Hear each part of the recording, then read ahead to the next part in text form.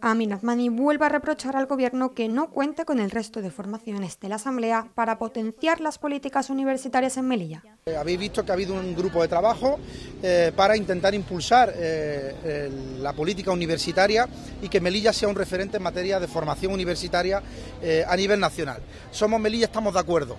Estamos de acuerdo con que se impulse la universidad, la formación como motor económico. Evidentemente esto es una inversión a medio o largo plazo pero echamos en falta eh, valentía.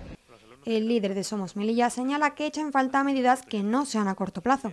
Creemos que lo lógico era ser ambiciosos y pedir pedir al Estado y a la Unión Europea una ciudad universitaria, un nuevo campo universitario con instalaciones amplias, novedosas en los cuarteles del Real, frente al hospital eh, universitario. Eso generaría un impulso económico eh, brutal, pero lamentablemente seguimos con medidas cortoplacistas. Al hilo de esta cuestión, Azmani cree que el gobierno de la ciudad debería firmar los distintos acuerdos o crear grupos de trabajo, habiendo antes consensuado las medidas a tomar con el seno de la Asamblea. Estamos hablando de una política de ciudad. Esto nos incumbe absolutamente a todos. Y si queremos una Melilla unida y fuerte, como dice el señor Imbroda, pues qué menos que contar con todos y con todas. Echamos en falta que eso nos explique. Vamos a pedir una comisión eh, de presidencia de la ciudad autónoma, pues para que al menos, al menos, nos informe de lo que han acordado y cuál es el contenido de ese grupo de trabajo.